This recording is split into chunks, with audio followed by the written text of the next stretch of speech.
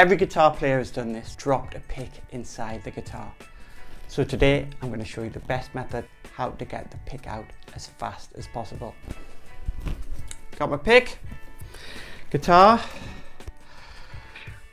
I can't believe I'm actually going to do this on purpose. And it's in there. A few methods I probably wouldn't suggest is trying to get your hand inside the sound hole past the strings.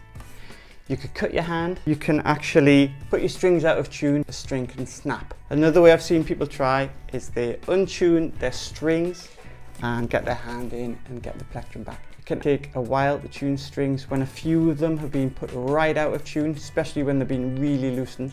But also, if you tighten them up and they've been tightened for a while, the strings can actually snap when you retighten them. So not the best way. So this way, I think, is the best method. So, one hand on the bottom of the guitar, another hand firmly on the neck. Now, slight disclaimer, be very careful with the guitar here. Okay, and make sure there's nobody about. A bouncing method. There we go.